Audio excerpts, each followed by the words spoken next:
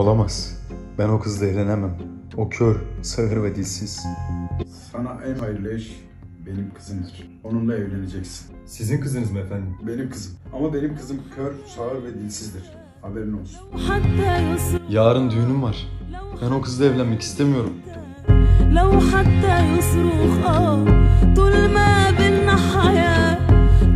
Ama sen kör değilsin. Beni görebiliyorsun. İsminiz? Pelin. Ama sen sağır ve dilsiz değilsin. Benimle konuşuyorsun. Hayırdır ne oldu evlat gecenin bu saatinde? Ama bu imkansız.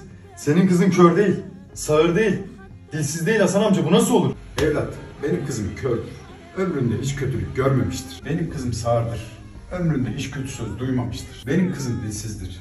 Ağzından hiç kötü söz çıkmamıştır evlat. Benim kızım sana en hayırlı eşittir.